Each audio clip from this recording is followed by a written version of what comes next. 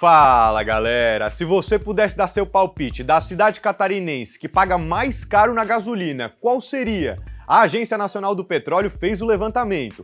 Em primeiríssimo lugar, um município que está 5,59 o litro. A resposta está na nossa página. Agora se liga nas imagens. O pelo do seu cachorro já chegou nesse nível? Sabia que tem um tipo de tosa que previne doenças do bicho de estimação? É a tosa higiênica. Tem orientações valiosas para garantir esse visual repaginado e saudável do seu pet. Você encontra na página exclusiva do Clube ND+, no portal.